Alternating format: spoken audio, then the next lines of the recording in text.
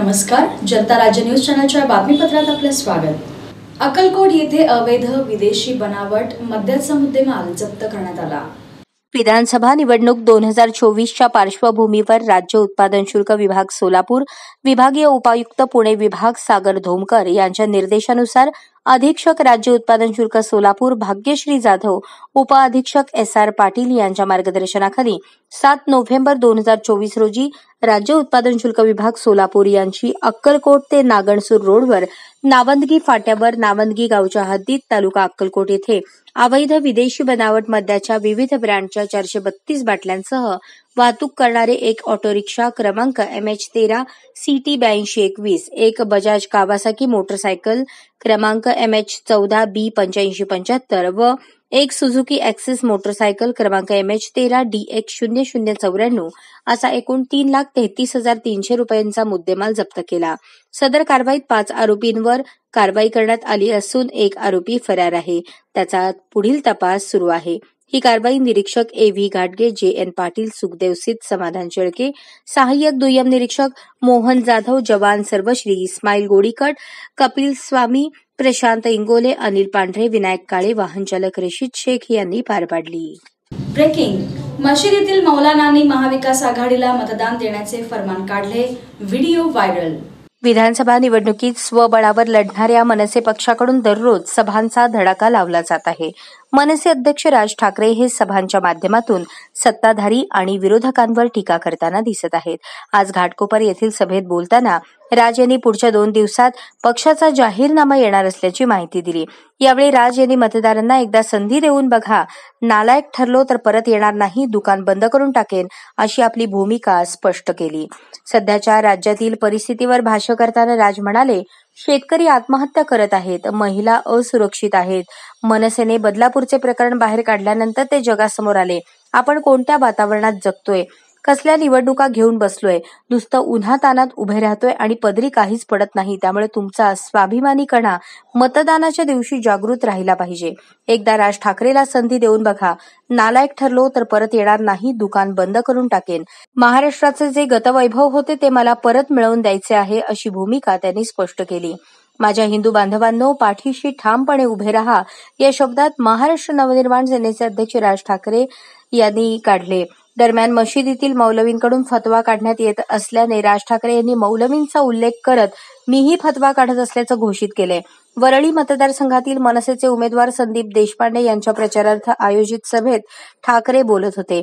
यावेळी विविध मुद्द्यांवरून त्यांनी सत्ताधारी आणि विरोधकांवर जोरदार टीकास्त्र सोडले आहे. Breaking news. मुख्यमंत्री शिंदेना तगडा झटका. सध्या निवडणुकीत प्रचाराचा धुरळा उडू लागला आहे. स्टार प्रचारक आणि नेत्यांच्या सभांनी राजकारण तापू लागले आहे. तर दुसरीकडे फोडाफोडीचे राजकारणही जोरात सुरू आहे. नेत्यांचे इनकमिंग आणि आउटगोईंग सुरू आहे. अशातच आता मुख्यमंत्री एकनाथ शिंदे यांना धक्का देणारी बातमी आली आहे. धाराशिव जिल्ह्यातील कळंब परिसरात शिंदे गटाला तगडा झटका बसला आहे. माजी नगराध्यक्ष सुवर्णा मुंडे यांचे पती सागर मुंडे यांच्यासह आठ माजी नगरसेवकांनी हाती शिवबंधन बांधले. ऐन निवडणुकीच्या तोंडावर घडलेल्या या घडामोडीने शिंदे गटाच्या स्थानिक संघटनेला धक्का बसला आहे. विधानसभा निवडणुकीत शिंदे गटाने आयात केलेल्या उमेदवाराला तिकीट दिल्याने नाराजी उफाळून आली. त्याची परिणती पुढे पक्षांतरात झाली. या घडामोडीची राजकीय वर्तुळात चर्चा रंगली आहे. मुख्यमंत्री एकनाथ शिंदे आज धाराशिव जिल्ह्यात येत आहेत. त्याआधीच ही धक्का देणारी घडामोड घडली आहे. चर्चा तर होणारच अजितदादा म्हणाले. राज्यातील प्रचाराची रंगत पंतप्रधान नरेंद्र मोदी यांच्यामुळे वाढणार आहे. ते आठवडाभराच्या कालावधीत नऊ सभा घेणार आहेत. पुण्यात बारा नोव्हेंबरला होणारा रोड शो मोदींच्या प्रचार दौऱ्याचे वैशिष्ट्य असणार आहे. भाजपच्या प्रदेश शाखेने मोदींच्या प्रचाराचा कार्यक्रम जाहीर केला. त्यानुसार विधानसभा निवडणूक काळातील मोदींची पहिली सभा आज धुळ्यात होईल. पंतप्रधान मोदींची पुण्यात सभा असताना बारामतीत सभा होईल का असा प्रश्न सध्या चांगलाच चर्चेत आला होता. त्यावरून उपमुख्यमंत्री अजितदादा पवार यांना प्रश्न विचारला असता ते म्हणाले बारामतीत मोदींची सभा होणार नाही. यामागचे मुख्य कारण म्हणजे या ठिकाणी होणारी लढत ही कुटुंबातील आहे. त्यामुळे अजितदादा यांनी परिवारास महायुतीपेक्षा मोठे स्थान दिल्याचे स्पष्ट झाले. दरम्यान राज्यातील विधानसभा निवडणुकीतील सर्वात चर्चेचे असलेले बारामती मतदारसंघात पवार विरुद्ध पवार अशी थेट लढत होणार आहे. यामध्ये ज्येष्ठ नेते शरद पवार गटाकडून युगेंद्र पवार यांना तिकीट देण्यात आले आहे. बारामतीत काका विरुद्ध पुतण्या अशी लढत होणार असून या लढतीकडे संपूर्ण राज्याचे लक्ष लागले आहे. क्राईम पेट्रोल फेम अभिनेत्याचे पस्तीसाव्या वर्षी निधन. दादागिरी दोन या रियालिटी शोचे विजेतेपद पटकावणारा टीव्ही अभिनेता नितीन चौहान याचे काल मुंबईत निधन झाले. उत्तर प्रदेशातील अलीगड येथील रहिवासी असलेल्या नितीन याने वयाच्या अवघ्या पस्तीसाव्या वर्षी अखेरचा श्वास घेतला. दादागिरी टू जिंकल्यानंतर नितीनला मोठी ओळख मिळाली. याशिवाय नितीन एम टी व्हीच्या Splitsvilla five Zindagi dot com Crime Patrol आणि फ्रेंड्स या मालिकांमध्ये झळकला आहे. नितीनच्या आकस्मिक निधनाने सर्वांनाच आश्चर्याचा धक्का बसला आहे. नितीन दोन हजार बावीसमध्ये सब टीव्हीवरील तेरा यार हुमे या मालिकेत दिसला होता. नितीनच्या निधनाच्या वृत्ताला त्याचे सहकलाकार सुदीप साहिर आणि सायंतनी घोष यांनी दुजोरा दिला आहे. मात्र यापेक्षा अधिक माहिती त्यांनी शेअर केलेली नाही. नितीनची माजी को स्टार विभूती ठाकूर हिने केलेल्या पोस्टनुसार त्याने आत्महत्या केल्याचे म्हटले जात आहे. मात्र अधिक माहितीची प्रतीक्षा आहे. नितीनचे वडील आपल्या मुलाचे पार्थिव घेण्यासाठी मुंबईत दाखल झाले आहेत. पोलीस या प्रकरणाचा तपास करत आहेत. सध्या नितीनचे वडील किंवा त्याचे कुटुंबीय किंवा पोलिसांकडून याबाबत कोणतेही अधिकृत वक्तव्य करण्यात आलेले नाही. आमदार देशमुख यांच्यावर जेसीबी मधून पुष्पवृष्टी. यंदा मालक लाखाच्या लीडने विजयी होणार. लोकसभेला वाळे भागात भाजपचे उमेदवार यांना आम्ही लीड दिला होता. त्यापेक्षाही जास्त महायुतीतील सर्व पक्ष मिळून आम्ही एक दिलाने काम करू. आमदार देशमुख यांना सर्वाधिक मताधिक्य देऊ. येणाऱ्या विधानसभेत एक लाख मताधिक्याने शहर उत्तरचे नाव गाजवू असे बाळे येथील भाजपचे कार्यकर्ते राजू आलुरे यांनी सांगितले. मान्य आमदार देशमुख यांच्या पदयात्रा सुरू झाल्या या पदयात्रेमध्ये असंख्य भारतीय जनता कार्यकर्ते व तसंच समस्त महिला भगिनीने उत्स्फूर्त प्रतिकार घेतलेला आहे.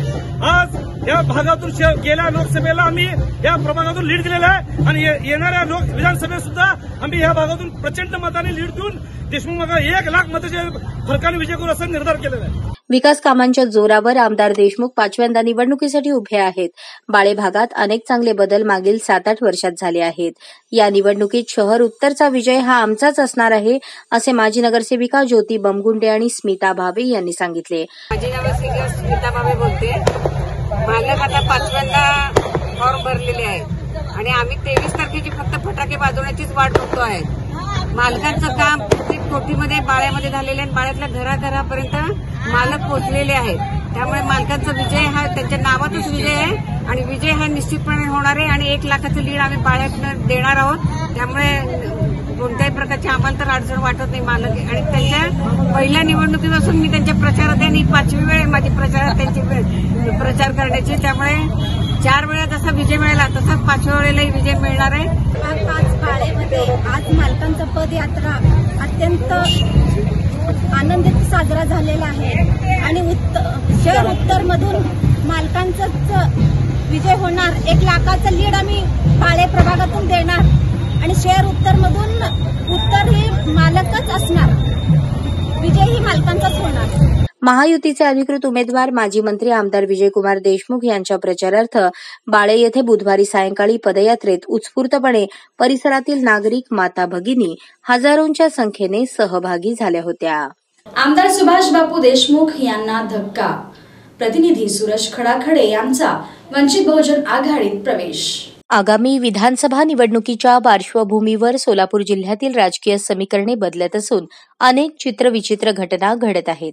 एकेकाळी भारतीय जनता पक्षाचे कार्यकर्ते व सोलापूर दक्षिणचे विद्यमान आमदार सुभाष देशमुख यांचे खंदे समर्थक असलेले वांगी गावचे विद्यमान सरपंच प्रतिनिधी तथा कोळी समाजाचे नेते सूरज भैया खडाखडे यांनी आज वंचित बहुजन आघाडीचे अधिकृत उमेदवार संतोष पवार यांच्या प्रमुख उपस्थितीत प्रवेश केला. सूरज खडाखडे हे गेल्या दहा वर्षांपासून राजकारण आणि समाजकारण करत असून भारतीय जनता पक्षाचे कट्टर समर्थक होते.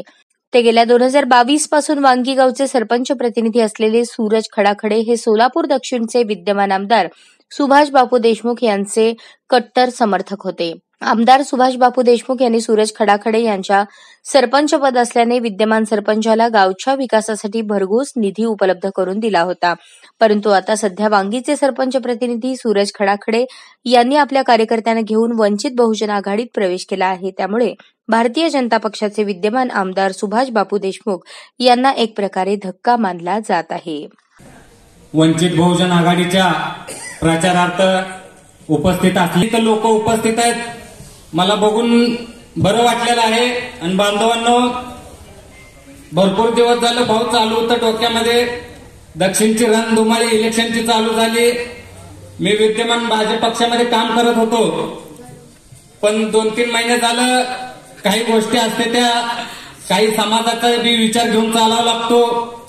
फक्त वैयक्तिक स्वार्थ न बघता की आपण ज्या जातीत जन्माला आलो ज्या समाजात जन्माला आलो ज्या भागात जन्माला आलो त्या भागाचा विकास करत असताना आपल्या समाजाचा देखील कसा विकास करता येईल? आपल्या लोकांना देखील कसा न्याय देता येईल?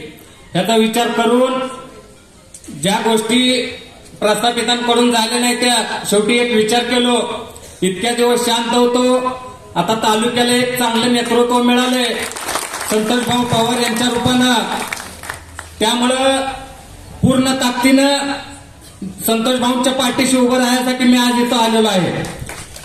इतक्या दिवस भाऊ लोक सांगायचे सर्व सहकारी म्हणत होते की सुरेश काय तर निर्णय घ्या काय तर पाठिंब्या विषय घ्या. असं शांत राहून कसं चालायचं समाजाला काय तर दिशा मिळालं पाहिजे. भाजपाला धडा शिकवावे असे सिंदखेड येथे प्रचाराच्या वेळी धर्मराज काडादी हे म्हणाले. दक्षिणमधील जनतेने भाजपला धडा शिकवावा असे सिंदखेड येथे प्रचाराच्या वेळी धर्मराज काणादी यांनी बोलताना सांगितले. गेल्या दहा वर्षात काही विकास झाला नाही. तो डोळ्यासमोर ठेवून भाजपला शेतकऱ्यांनी धडा शिकवावा या उद्देशाने सिद्धेश्वर साखर कारखाना चांगला चाललेला त्यांना बघवत नाही. तर आपला कारखाना बंद पडेल या उद्देशाने सिद्धेश्वर सहकार कारखान्याची शिवणी पाडण्यात आली. दक्षिणमधील भाजपच्या लोकप्रतिनिधीला बाहेर काढून अपक्ष उमेदवार धर्मराज काडादी यांना निवडून द्यावे. गेल्या सत्तर वर्ष झाले दक्षिणमध्ये हरित क्रांती झालेली नाही. पाहिजे तेवढा विकास झालेला नाही. हरित क्रांतीचा विकास करण्यासाठी सगळेजण आपल्या पाठीशी उभे राहून निवडून द्यावे. दक्षिणमध्ये युवा पिढी मोठ्या प्रमाणात बेरोजगार आहे. त्यांना रोजगार देण्यासाठी आपण कटिबद्ध असून त्यांना रोजगार कसा भेटेल त्यासाठी आपण प्रयत्न करणार आहोत. सत्तेच्या गैरवापराने सुडाच्या राजकारणाला कंटाळलेले जनतेच्या आग्रहामुळे आपण या निवडणुकीच्या मैदानात उतरलो आहोत. ज्येष्ठ नेते शरद पवार सुशीलकुमार शिंदे खासदार प्रणिती शिंदे यांच्या आशीर्वादासोबत तालुक्यातील सर्व पक्षीय नेते मंडळींची आपल्याला साथ आहे. तालुक्यातील सर्व मतदारांनी कम्प्युटर समोरील बटन दाबून मोठ्या मताधिक्याने विजयी करण्याचे आवाहन सिद्धेश्वर परिवाराचे तथा सोलापूर दक्षिण विधानसभा मतदारसंघातील अपक्ष उमेदवार धर्मराज कडादी यांनी आवाहन केले.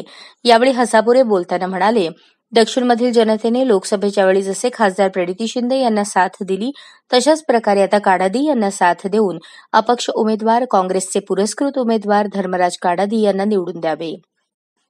धर्मराज काडादी हे स्वच्छ प्रतिमेचे आहेत.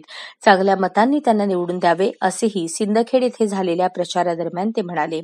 विधानसभेच्या अपक्ष उमेदवारी जाहीर झाल्यानंतर धर्मराज काडादी यांनी दक्षिण तालुक्यातील जनतेच्या समक्ष भेटी घेऊन दक्षिण सोलापूर तालुक्यातील घोडातांडा मद्रे सिंदखेड औराद सांजवाड राजूर बिरनाळ हनमुर्गी आदी गावातील जनतेची भेट घेऊन मतदारांशी संपर्क साधला.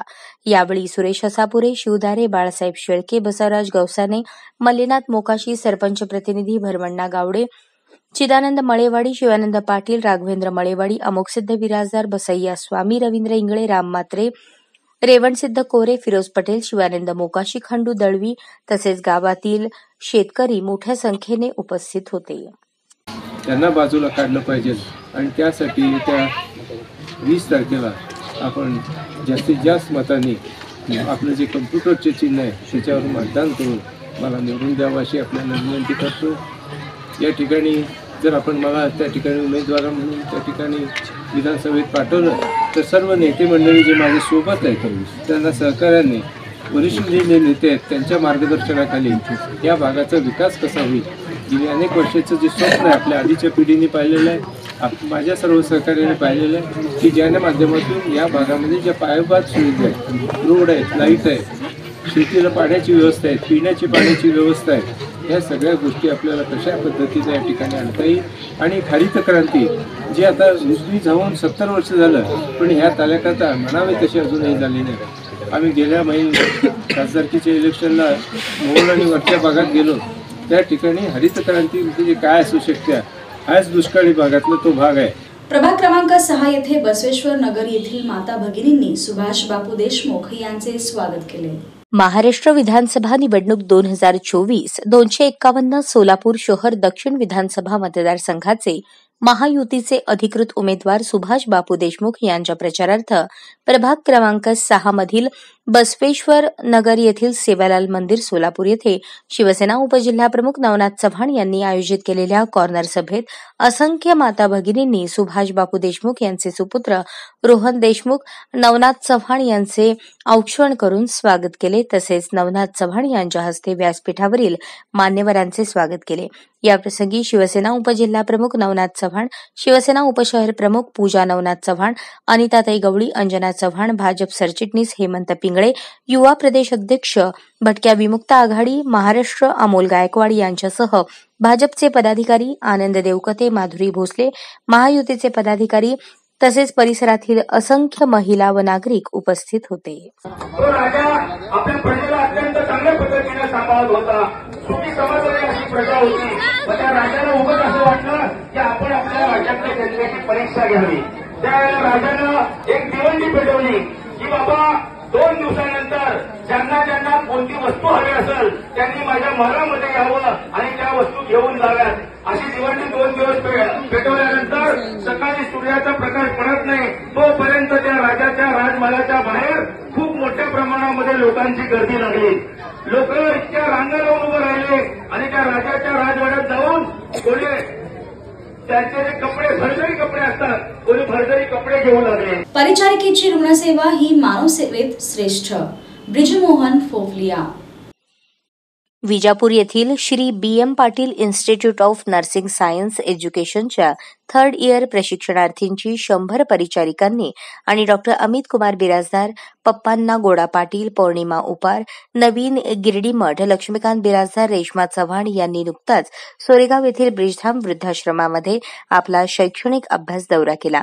यावेळी ब्रिजधाम वृद्धाश्रमाचे संस्थापक ब्रिजमोहन फोफलिया यांनी सदर विद्यार्थ्यांचे स्वागत करून मानवी जीवनात परिचारिकांच्या सेवेबाबतचे महत्त्व विशद केले. यावेळी पुढे बोलताना फोफलिया यांनी परिचारिकेकडून होणारी रुग्णसेवा खूप मोठी आहे. ते मानवतेचे सर्वात मोठे कार्य आहे. जे काम कुटुंबातील भाऊ बहिणी आई वडील करू शकत नाहीत ते परिचारिका करते.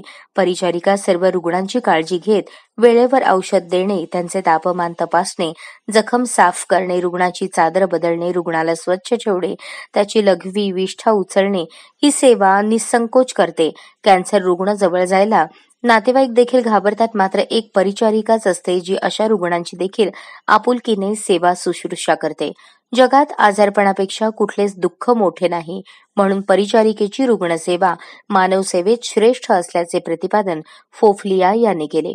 नर्सिंग हा आरोग्य सेवेचा कणा आहे. रुग्णांच्या सहवासात नर्स सर्वात जास्त वेळ असते. पुढे बोलताना आपल्या मातापित्यांची अखेरपर्यंत निस्वार्थपणे सेवा करण्याचे आव्हान या विद्यार्थ्यांना केले. आपल्या आई वडिलांचा आदर करा. त्यांनी लहानपणापासून ते आतापर्यंत तुमचा सर्व खर्च केला आहे. लहानपणी तुम्हाला मांडीवर बसवून आपल्या हाताने जेऊ घातले आहे. रात्रंरात्र जागवून तुम्हाला झोपवणे तुमची घाण साफ करणे. लहानपणापासून आतापर्यंत त्यांनी तुमची सेवा केली आहे. आता तुम्ही त्यांची करण्याची वेळ आली आहे. परंतु तुम्ही त्यांच्यासाठी काय करता? कधी आई वडिलांपाशी बसून आपल्या हाताने जेवण तयार करून त्यांना जेवण खाऊ घालणे. घरात सर्वांची सेवा करा त्यांनी जेवलेले ताट उचला साफ करा. छोट्या छोट्या गोष्टी आहेत. आई वडील आजी आजोबा आराम करताना त्यांचे हातपाय दाबा डोके दाबा त्यांचे अंथरूण तयार करा. ते तुमच्यासाठी भरपूर काही करतात. तुम्ही त्यांना प्रेम द्या सन्मान द्या. त्यांनी सांगितलेली कामे ऐका वडिलांची गाडी साफ करा त्यांचे कपडे प्रेस करा त्यांचे बूट साफ करा घरातील सर्व कामे करा. तुमच्या मनात सेवेचा भाव असला पाहिजे. आज सर्वजण हॉटेलमध्ये जेवायला जातात तिथे पैसे देऊन जेवण करून त्या जेवणाची खूप प्रशंसा करतात. खूप छान झाले आहे. तसेच घरातील आई वर्षानुवर्षे जेवण करून खाऊ घालते. त्या आईच्या हातच्या जेवणाची तुम्ही प्रशंसा करायला हवी. जर तुम्ही जन्म दिलेल्या आई वडिलांची सेवा करू शकत नसाल तुमच्या मनात सेवाभाव नसेल तर पुढे जाऊन तुमच्या लग्नानंतर तुम्ही तुमच्या सासू सासऱ्यांची सेवाही करणार नाहीत. त्यामुळे भांडणे होतील नवरा बायको वेगळे होतील. ज्यांनी तुम्हाला जन्म दिला त्यांची साथ तुम्ही सोडता. त्यांना तुम्ही वृद्धाश्रमामध्ये सोडता कारण सेवेचा भाव तुम्ही कधी ठेवलाच नाही. तुमचे भविष्य जर चांगले करायचे असेल तर तुम्ही सेवा केली पाहिजे. घरात आई वडिलांची सेवा करा. विचार करा त्यांनी तुमच्यासाठी काय काय केले आहे आणि तुम्ही काय करत आहात. तुम्ही मनात सेवेचा भाव ठेवला तर पुढे जाऊन सासू सासऱ्यांची देखील तुम्ही सेवा करू शकाल. नाहीतर तुमच्यामुळे आई बाप वृद्धाश्रमात येत राहतील. ऐसी वाणी बोलिये मन का आपा खोय. और नको शीतल करे आपही शीतल होय तुम्ही जर कावळ्यासारखे कावकाव केले तर तुम्हाला कोणी जवळ करणार नाही. गोड बोलणे हे मुलींचे आभूषण आहे. गोड बोलून तुम्ही जगाला जिंकू शकता. कागो क्या तेरा धन हरे कोयल क्या तुझे? देत मिठी वाणी बोलके जग आपणा करले. तुम्ही आश्रमामध्ये आहात हे सर्व चांगल्या गोष्टी तुम्ही गाठ बांधून न्या. यावेळी महाविद्यालयाच्या शिक्षकांनी आपण विद्यार्थ्यांना केलेले मौलिक मार्गदर्शन त्यांना सद्ग्रहस्थ म्हणून जगण्यासाठी जीवनात प्रेरणादायी ठरणार असल्याचे सांगून आपल्या वृद्धाश्रमरूपी समाज उपयोगी कार्य उत्तरोत्तर असेच चांगल्या पद्धतीने होत राहावे अशी कामना करत सर्व प्रशिक्षणार्थी विद्यार्थ्यांनी आणि शिक्षकांनी निरोप घेतला. आपका स्वागत करते हैं. आप बीजापुर से आए। हिंदी आता है सबको। आता है ना? आप बहुत दूर से आए आपने आश्रम देखा है, देख लिया है।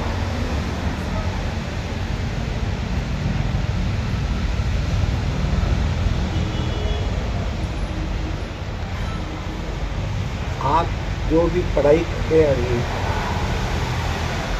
एजुकेशन कर रहे हैं, वो भी एजुकेशन सेवा का है। जैसे हम सेवा कर रहे हैं, हमसे बढ़कर सेवा आप लोग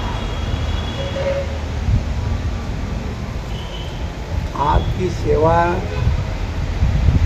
हम कई हॉस्पिटलों में आना जाना है, देखते हैं। डॉक्टर से बढ़कर सेवा नर्सेस की होती।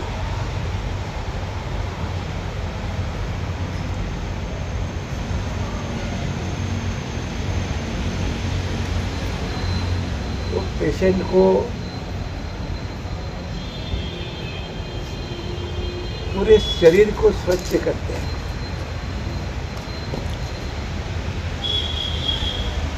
उनका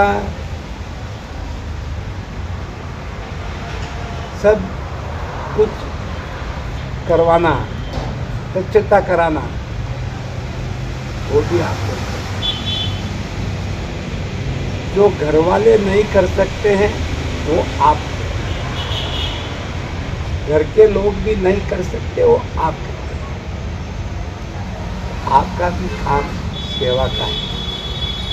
आप जो एजुकेशन ले रहे हैं, बहुत बड़ी सेवा का है। आपसे पेशेंट आपके बातों से पेशेंट सेवा से पेशेंट मन प्रसन्न हो जाता है।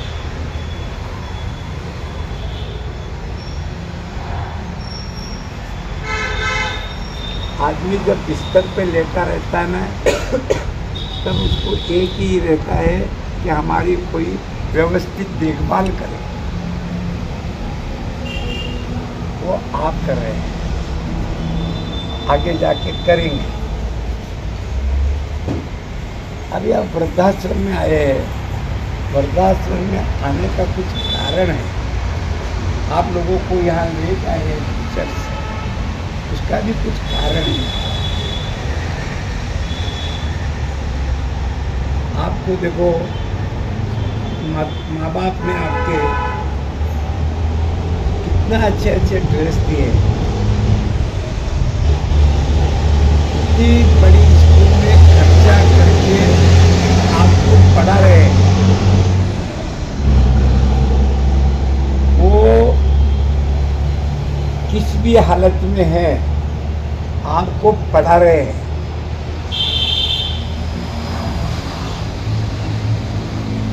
आपका पूरा खर्चा उठा रहे हैं। आपको तेल, साबुन, दवा, पानी, कपड़े, खाना, सब व्यवस्था। छोटे थे तो माँ ने आपको कैसे पाला है, आपको मालूम है।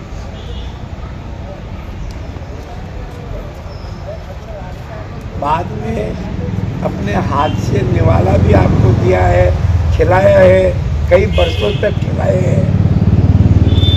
फिर समझदार हुए, पढ़ाई करावे कई माँ बाप की हालत तो ऐसी होती है, बनियान दस जगह से फटी रहती है पिता की। लेकिन अपने बच्चों को अच्छे कपड़े पहनाते वो खुद फटे पहनेंगे, आपको अच्छा पहने सासऱ्यांसाठी सोनबाई, डॉक्टर उर्वशीताई देशमुख निवडणुकीच्या प्रचारात। दोनशे अठ्ठेचाळीस सोलापूर शहर उत्तर विधानसभा सार्वत्रिक निवडणूक. भाजपा राष्ट्रवादी शिवसेना व महायुतीचे अधिकृत उमेदवार विजय सिद्धरामप्पा देशमुख यांच्या प्रचारार्थ त्यांच्या सुनबाई डॉक्टर उर्वशीताई किरण देशमुख यांनी प्रभाग क्रमांक दहा व अकरा मधील विडी कामगारांशी संवाद साधत त्यांच्या अडचणी जाणून घेतल्या आणि ते सोडवण्याचे आश्वस्त देत आणि त्या सोडवण्याचे आश्वासन दिले. भाजप व महायुतीने महिलांना सक्षम व सन्मान करणारे अनेक निर्णय घेतलेले आहेत. महायुतीचे उमेदवार विजय देशमुख यांना वीस नोव्हेंबर रोजी दोन क्रमांकाचे कमळ समोरील बटन दाबून मोठ्या मताधिक्याने विजयी करण्याचे आवाहन केले. यावेळी सर्व विडी कामगार महिलांनी महायुती सरकार व आमदार विजय देशमुख यांनी आमच्या भागात मूलभूत सोयी सुविधांची मोठी विकास कामे केली आहेत.